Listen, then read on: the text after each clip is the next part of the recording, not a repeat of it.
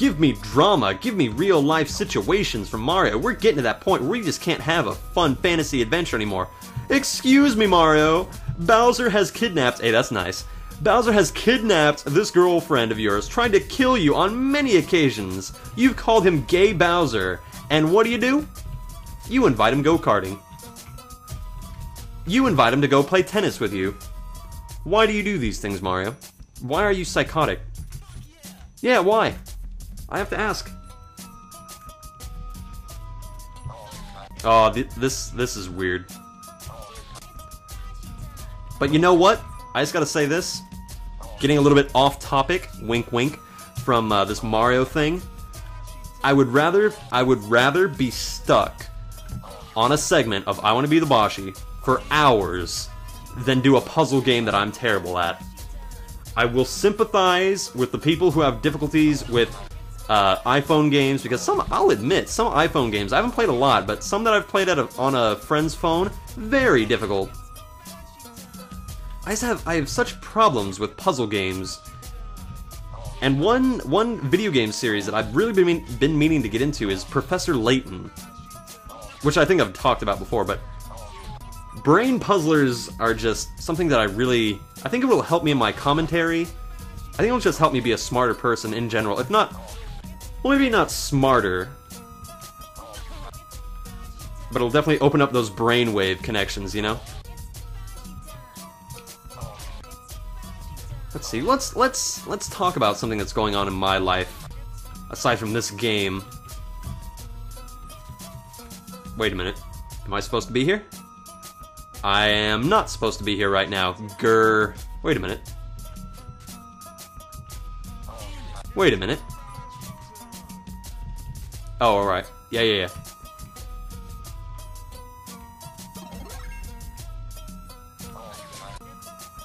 Uh, oh my goodness, I have to do that until I get to the save point, don't I? Okay.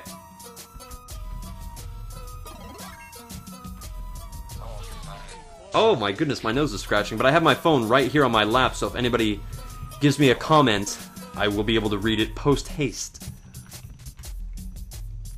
Um, ooh, ooh, I'm sorry, I thought of another great boss. A boss that I love, a boss that was like almost pure attitude, that I loved. And it's a boss that I've recorded on this, uh, on this channel. And that is the final boss of Deus Ex. That boss Oh, what was his name? Oh my god, I need to play that game again for myself. I, I've got to go back and play it. That fall is so weird. I gotta, I gotta get, I gotta get going on a lot of games. I am very sorry that I've been slow, been slow going. There we go, that's nice. Having that save there is very nice.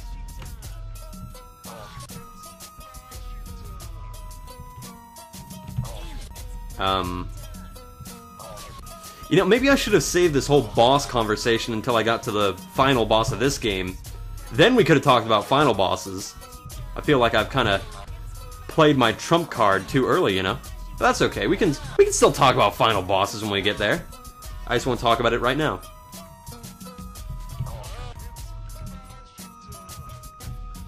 Oh, hey. That was really weird. I thought I was like, uh, I don't know what I thought. Yeah, I need a drink of water.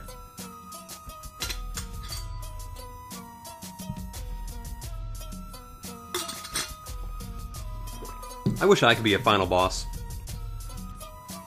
I wish I could just be that big last obstacle between the hero and his goal. That'd be great.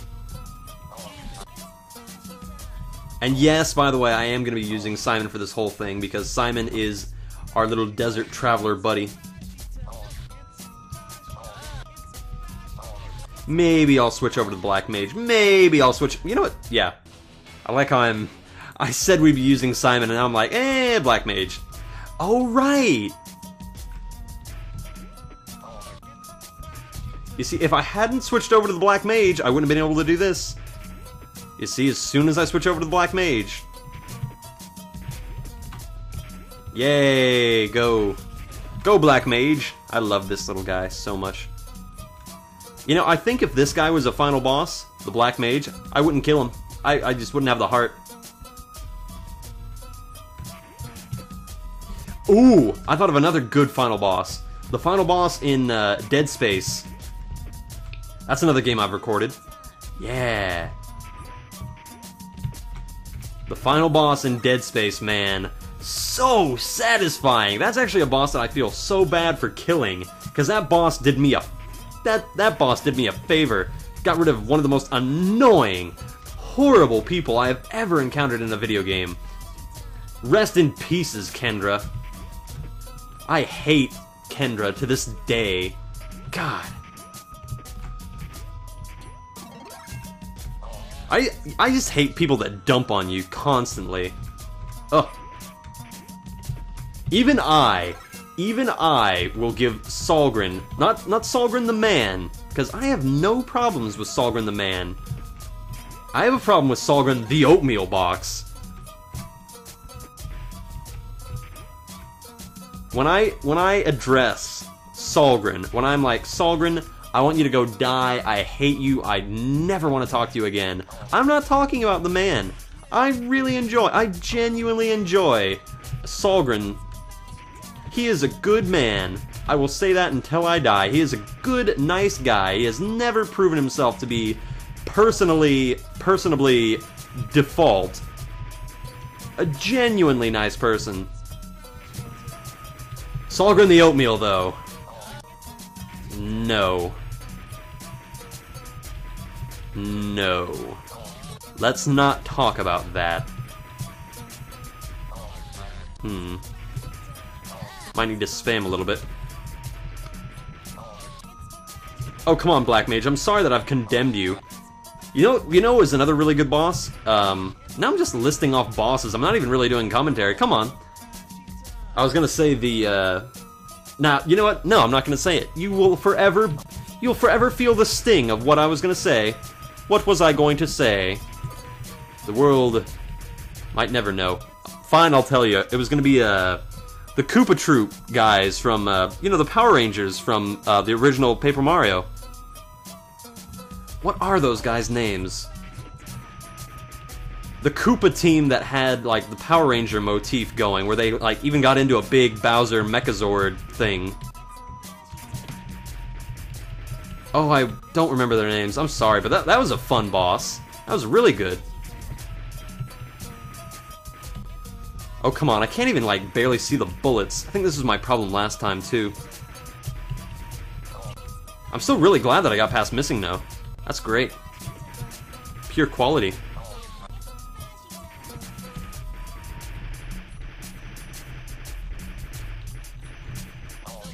Hmm, hold on, let me spam a little bit. There it is, as soon as I spam a little bit. Oh, this world is pretty much done with. Thank you for giving me that. Thank you for giving me that wimpy save right there. Oh, come now. Is this because I'm not doing it with Simon? Fine. Jeez, here's Simon. I know you really like him. Go ahead. I don't care. Ah. By the way, almost 5,000 deaths. There it is. Yeah. Hmm, hold on, this is a weird... This is like one of the only save jumping segments in the game.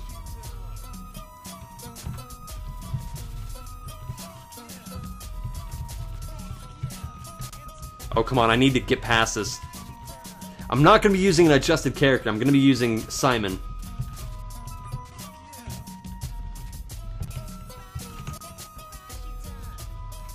Now, wait a minute, how...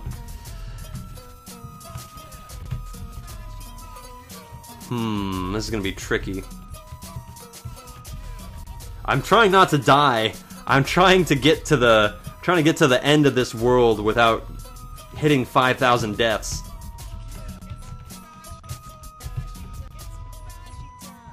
Hold on. This is gonna prove a little bit annoying.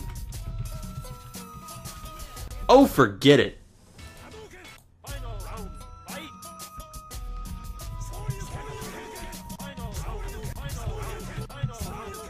No, that's what I get. 5001 punished.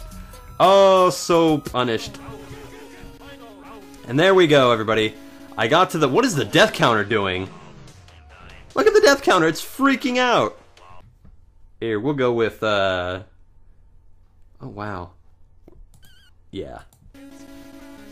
Dig Dug. Oh, God. Oh, what is going on with that death counter? That's great. So I got to, I got to this final little climb in 5,000 deaths. Well, on my 5,000th death, really. That's great. I'm, I'm darn proud of myself. Way to go, Gunslinger. Way to go, Dig Dug. Oh my gosh, that poor death counter. I might as well, I might just turn it off if it's going to be freaking out that bad. Look at that. Oh, even Dig Dug's freaking out. Look at him. Okay, wow. Let's go with the guy. Well, the kid. Okay, fine, we'll go with the guy now that I said it. Where is he? I think he's under T for the, the guy. Yeah. The only character that I can do this with how could I forget about the guy? The guy is such a good boss fight. All the all the boss fights in the original uh, I Want to Be the Guy are so good. They're just classics. We salute you, the guy. Keep on bringing in those capes. Keep on smoking that cigarette. Look at him, he's dancing to it. He knows. I like how the first time, the first time I get through this first spike weave thing, it's with the guy. Oh, if I could, if I could, if I could, if I could get to this next save with the guy, I would die a happy man. It's gotta be done. I'm sorry, it's gotta be done. It has to be. I can see where the hitbox is. Come on, come on, come on.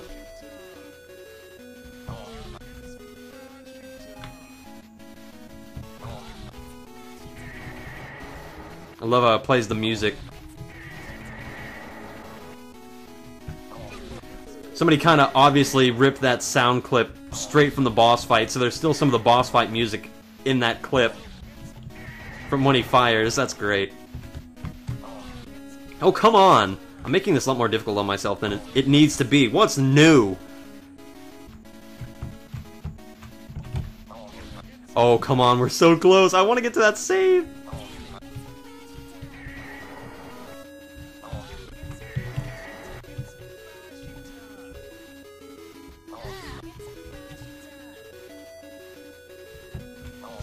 You gotta like jump out of the platform because it tries gripping onto you.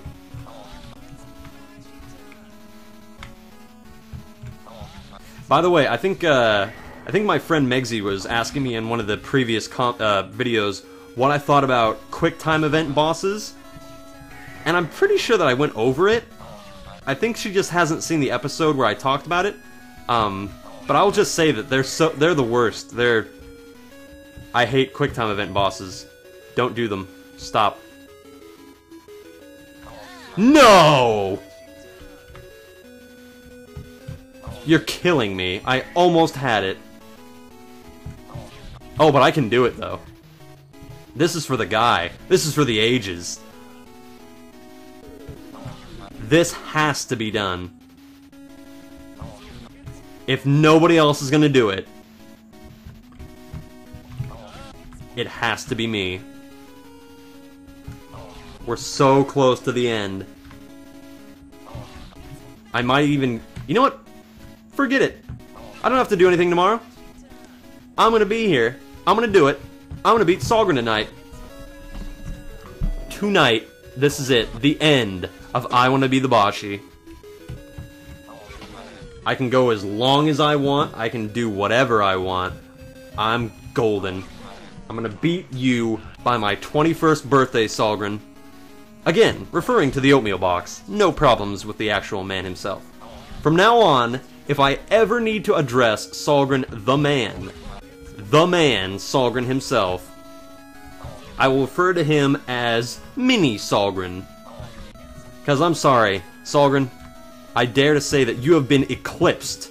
You have been just. Oh my god. At least in this game, you have so been eclipsed by your own creation here. It's kind of like Frankenstein and Dr. Frankenstein, you know? Everybody says, oh, what are you dressing up as? Oh, I'm dressing up as Frankenstein. Oh, do you mean Frankenstein the doctor, or do you mean Frankenstein the monster? Uh, I'm dressing up as Frankenstein. So are you gonna get a lab coat, or are you gonna get, like, bolts on your head? Uh, you know, I'm just dressing up as Frankenstein. I kill you now. Are you dressing up as the classic literature Dr. Frankenstein, who is actually a very sympathetic character who created something that he really shouldn't have and knew that he shouldn't have? Or are you the unsympathetic mad doctor Frankenstein? Uh, I'm dressing up as Frankenstein. I kill you, reanimate you, and kill you again.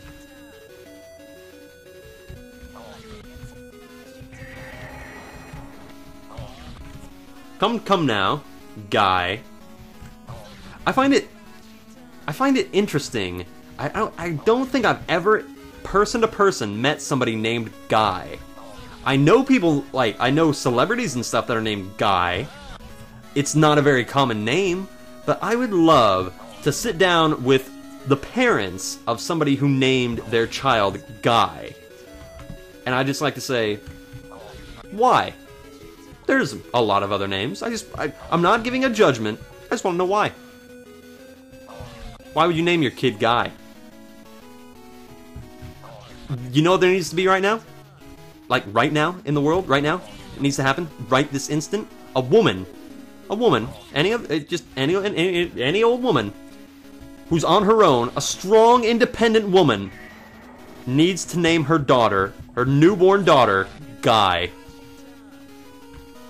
Do it for me, and I will adopt that child, and I will say to people who look at me and go, Why did you do that? I will say, Because I wanted the guy. I wanted to be the guy, and I couldn't. So instead, I did the next best thing. Next best thing, I adopted the guy. You think you know the guy. I was born in the guy. I didn't come out. I didn't know what Solgryn was until I was a man.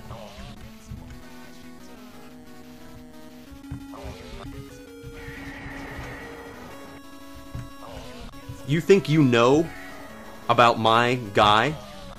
You don't know. My guy is the guy who will save us all from Solgryn. In the year 2000, in the year 5000, that's it, in the year 5108, a clone of my daughter, my adoptive daughter, named Guy, will be resurrected. She will be reborn into a world that Solgryn himself the big Solgryn, not Mini Solgryn. Mini Solgryn has been has been made into a statue. Now, I'm not talking about like they molded him into a statue. I'm talking about they dug up his bones and made him into a statue to be feared and respected in awe. But in the year 5117, my adoptive daughter, Guy, for the 18 billionth time was cloned again to take on the tyranny of Solgryn and free the world because she is the only, the only female who was ever named Guy, and she is the only one with the skill, the wit, and the determination to fulfill her title of Guy. And it is because of this that in the end, Solgryn will never win. Solgryn will fall to my adoptive daughter and only then, when she has rid the world of Solgryn, will she be able to take her voluptuous title of Madam Double Jump.